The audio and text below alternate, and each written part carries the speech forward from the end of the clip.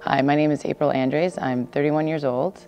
Um, the, I grew up in foster care pretty much all my life. Uh, I have three other siblings, um, and we were separated uh, when I was seven. The two oldest and the two youngest got to stick together, so um, we didn't really get to grow up with each other.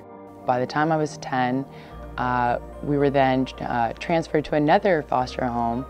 Uh, we didn't know much about it. We were just told it was just on a farm. And it was interesting because I was nervous and anxious, didn't know what to expect. And they were very happy to see us. And they told us that they were praying to have two girls to come live in their home so they can foster them. And they didn't know which two girls. So that blew my mind out of the water. I'm like, what? You know, I didn't under, I didn't know that God existed in that way. Um, and it made me think at 10 years old, if he can answer prayers, then who is he? And that's when everything started to begin from there. We attended church there every Sunday. So when I was 16 years old, I was struggling with a lot of anger. Uh, the, there was a lot of um, feeling of betrayal, um, just a lot of negative feelings that grew inside me.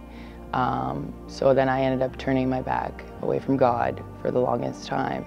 And it wasn't until February of this year that I was watching a YouTube video and God is very amazing and he works in interesting ways and he knew how to grab my attention and he grabbed my attention through a YouTube video um, and it was about a woman uh, who was also very lost and confused like I am. And it was, it, it was something I needed to hear. I realized then that I needed him and I repented and I remember calling my foster family up. I let them know that I repented, I came back, and I'm all for him. I'm all for following him and doing what he wants me to do. And I want to thank my my family, my foster family, and everyone that God had brought into my life. And He is still working on me, and uh, He has been really working with my patience. I've learned a lot of patience. My anger, I don't have that now. It's, it's pretty much gone. I'm more patient. I'm much more calmer than I ever used to be. And I don't experience anxiety like I used to. I have a verse here from the Bible that when I was starting my studying.